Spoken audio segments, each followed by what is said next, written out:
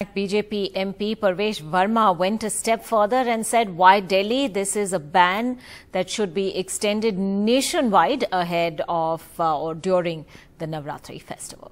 मैं चाहता हूँ कि तीनों नगर निगम इसको लागू करें पूरे दिल्ली एनसीआर और नहीं पूरा देश इसको लागू करे देश में रमज़ान आते हैं या कोई आ, क्रिसमस का त्योहार आता है तो सभी हिंदू भी उसके धर्म का पालन करते हैं, उनका सम्मान करते हैं। ऐसे ही जब हिंदुओं का त्योहार आए तो सभी को एक होकर देश की संस्कृति को आगे रखकर हमारे धर्मों का स्वागत करना चाहिए।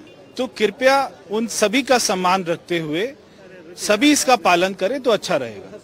जितनी भी मोदी सरकार की स्कीम है, वो सभी के लिए, सभी धर्म के लिए है।